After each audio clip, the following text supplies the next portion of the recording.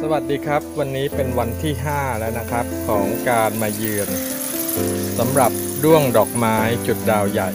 นะครับ หลังจากที่เมื่อวานนี้ผมได้โพสต์เกี่ยวกับเรื่องที่เอามะม่วงมาวาง เพื่อจะเป็นอาหารให้กับด้วงดอกไม้จุดดาวใหญ่นะครับ วันนี้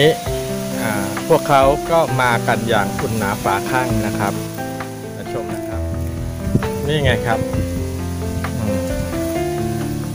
เห็นไหม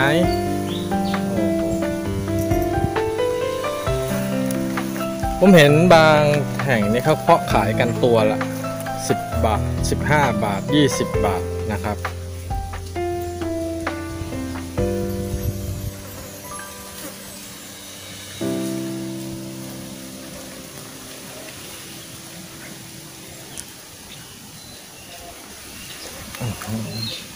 มาไม่ต่ำกว่าร้อยตัวนะเนี่ย ที่เห็นด้วยสายตา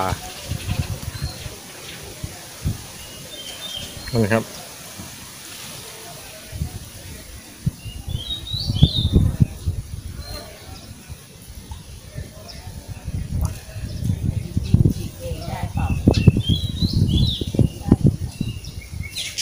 นี่บางตัวก็บิน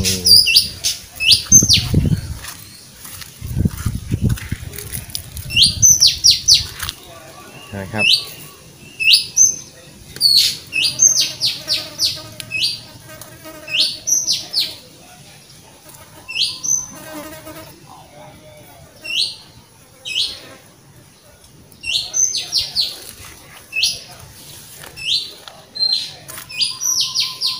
สีเขาสวยนะ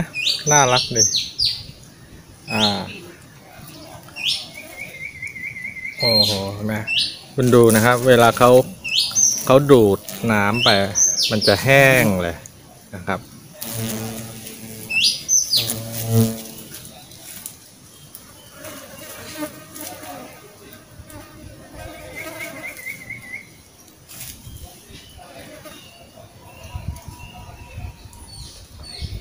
มะม่วงลูกใหญ่ ด้วงก็จะมากันเยอะ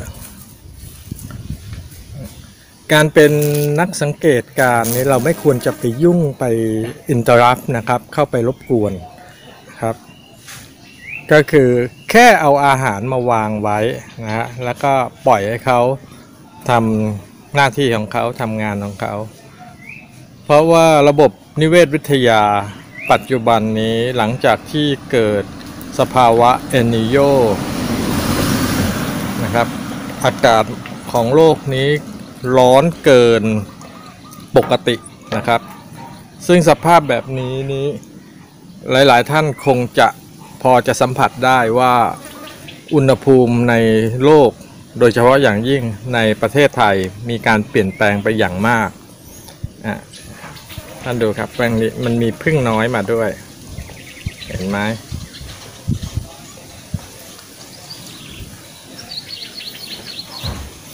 ฤดูการของการผสมพันธุ์ของด้วงดอกไม้จุดดาวใหญ่ ก็คือช่วงฤดูฝนนี่เองนะครับ ฤดูฝนในประเทศไทยก็เริ่มตั้งแต่เดือนพฤษภาคม ไปจนถึงเดือนตุลาคม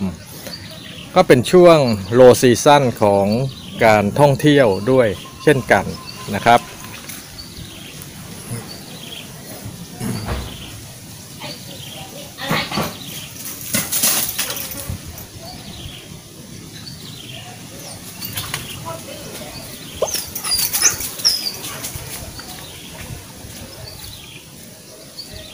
เราจะเห็นว่าบางตัวนี้ไม่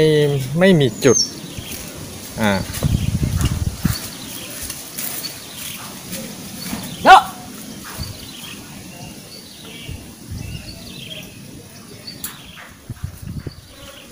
เห็นแล้วทึ่งเลยใช่ไหมครับ นี่คือครั้งแรกนะครับในโลกที่เราจะเห็นกลุ่มของด้วงดอกไม้จุดดาวใหญ่ มารวมกันมากมายถึงขนาดนี้นะครับ คลิปนี้เป็นการเผยแพร่ข้อมูลเกี่ยวกับโรคของแมลงด้วงดอกไม้จุดดาวใหญ่นี้จัดอยู่ในตระกูลของแมลงเต่าทองนะครับ เป็นบิทเทิลชนิดหนึ่งนะครับ อืม